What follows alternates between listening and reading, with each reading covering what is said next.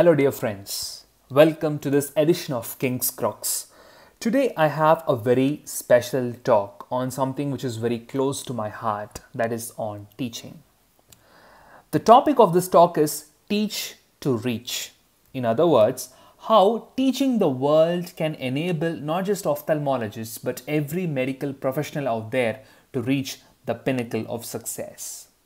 Now, even before we begin the discussion, it's always vital to ask the most important question why? Or the purpose behind what we do. See, most of the instructors or teachers know what to teach, but only some of them know how to teach. And even amongst them, a very, very handful of them understand the real purpose behind the teaching or the motive or the purpose behind why we teach the world. So, answering the question why is of the ultimate importance. So, let's start with why. I've got three reasons. The first reason is to carve a niche for ourselves. See, every single one of us, no matter who you are, we all strive for success. If you are listening to this talk, it probably means that you want to achieve success. You want to create an identity for yourself or carve a niche for yourself. This is my story. See, my primary interest is in teaching. I just love to teach, it is my passion. I chose ophthalmology because there was not any other option out there left when I had to choose my career options. So I had to add a positive with a negative thing. My passion was to teach, but my profession became ophthalmology. So what I did, I had to teach ophthalmology. In other words, I had to integrate my passion with my profession to create a meaning for what I'm doing. Right. So, what I did, I just started a YouTube channel and I uploaded very simple video lectures at the start, which aimed at PG aspirants, but slowly shifting the focus to the residents as well. This is the page, what I call as the King's Crux. Now, it has around 8,000 subscribers at the time of this recording, but have I achieved success in doing so? No. But am I on the path? Yes.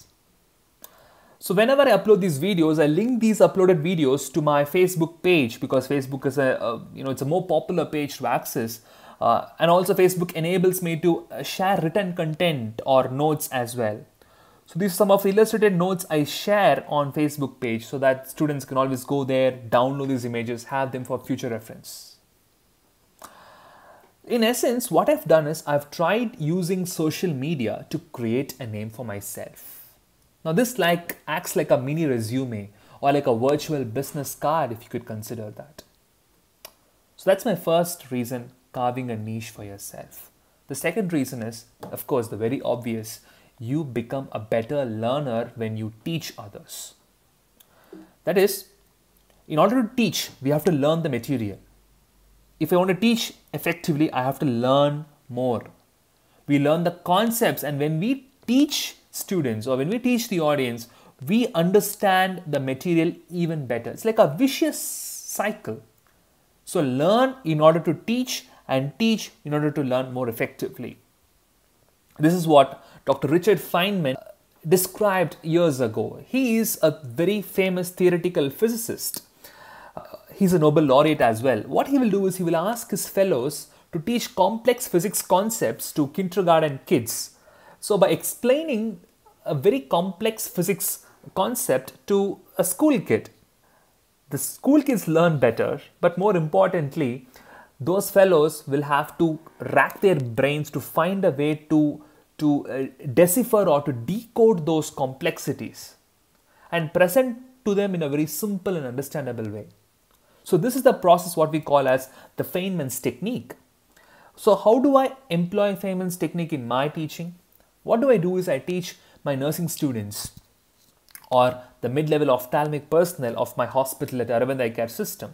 So by teaching them, they learn and I learn even more. Also explaining the concepts to them has enabled me to communicate and connect with my patients in a better way because when I explain a topic to my sister, I tell it in the simplest possible way. The same approach or same things I use to my patient education as well. And this is what we call as win-win. The third and the most important reason is we create a better future for the next generation. See, even after my time, these videos which I created will stay there online as long as YouTube exists. So it's like an everlasting legacy I will leave for my students to learn and cherish. Now imagine I treat four patients a day. My role ends there. As a physician or a surgeon, I can I can cure them. I can I can bring them vision.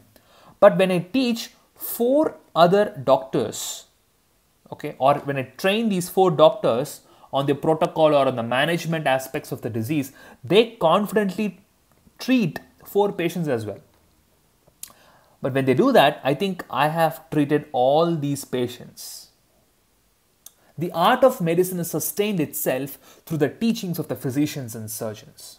Therefore, if each one of us teach one, if not many, then we create a better world to live. The world need more teachers to create positivity in the place.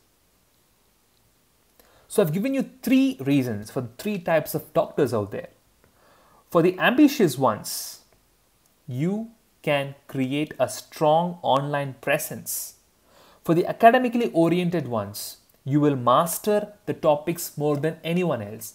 And finally, for the rarer species but the more important ones, the altruistic or the service minded people, you help the world. You can create a change in the world for better by teaching your ideas to the public.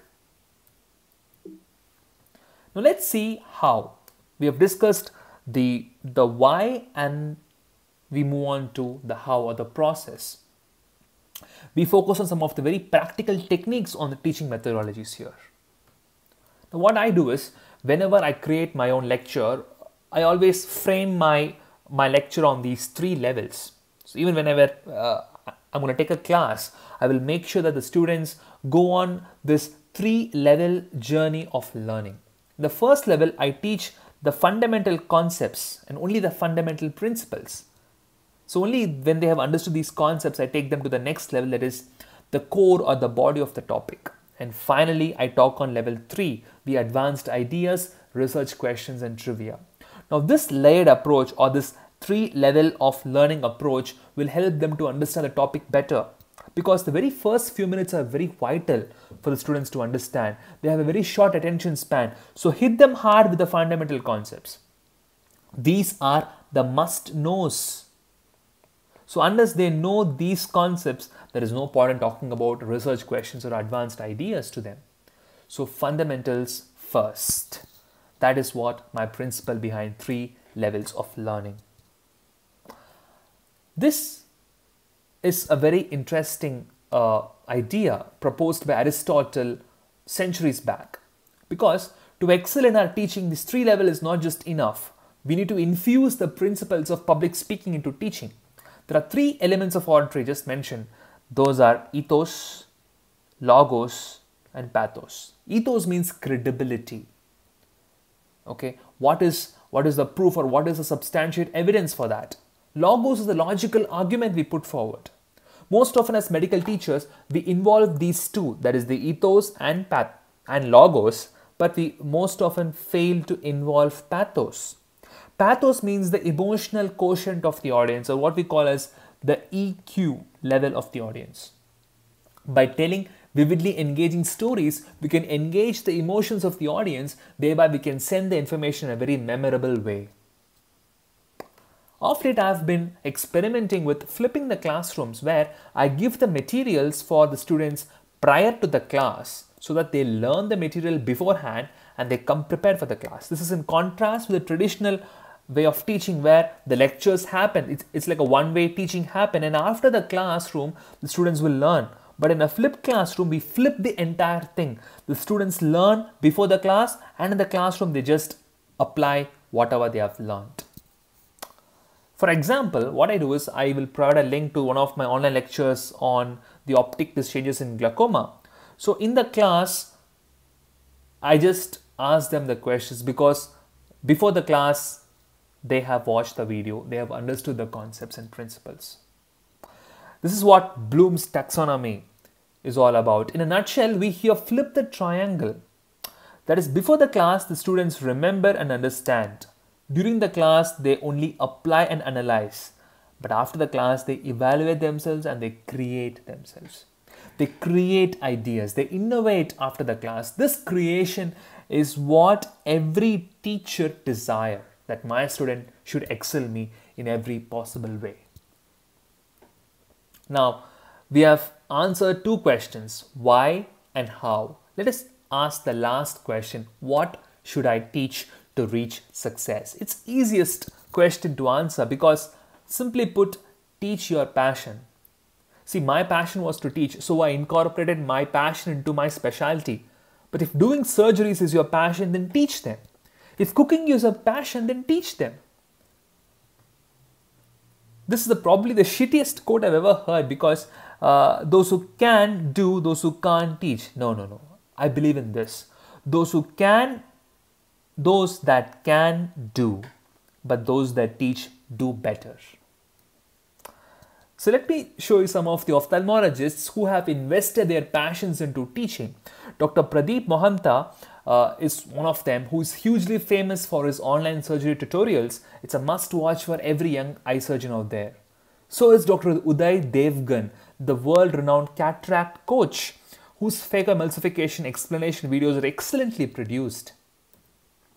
Dr. Ricardo uses Instagram to exhibit his beautifully shot artistic videos on retinal pathologies. This is Dr. Sengupta, who runs the online portal of lectures for research methodology. Now, all these people, and many people are out there who have carved a niche for themselves, they have learned their art better and they're helping students to excel in their respective fields. Now we end it with the crux. We have seen so many threes and triangles now. We have asked three questions why, how, and what to teach, the most important being why. We have discussed the three elements of oratory pathos, ethos, and logos, pathos being the first.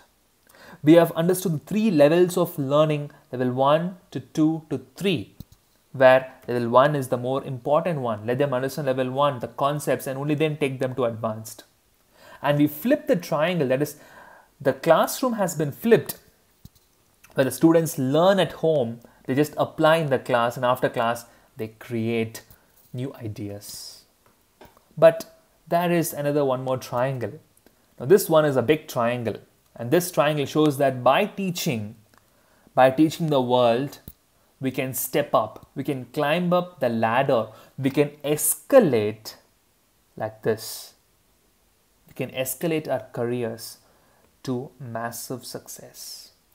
So, my dear friends, let us teach to reach the world, teach to reach success. Thank you so much for listening. All the best. Stay tuned for more updates on excellence in teaching.